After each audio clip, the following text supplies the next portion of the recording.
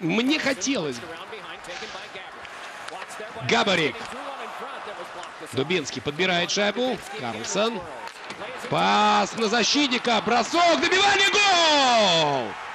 О, Вацлав Проспал! Вот то, что очень часто Нью-Йорк Рейнджерс не давали сделать соперники, это играть на добивании. Вот он.